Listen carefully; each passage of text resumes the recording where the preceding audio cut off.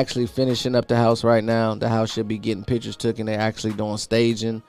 Took a little longer than I thought, a little longer than I wanted to. You know, I wanted to get them done in two weeks or 30 days. I think it took them like 45 days to get this house done. But this is their very first house. They come from different fields. They never done it. I'm hella proud of them. Um, the progress was amazing. It's only two things I can really, you know, speak on that was a hiccup, which was paying too much for the deck and then paying too much for the cabinets.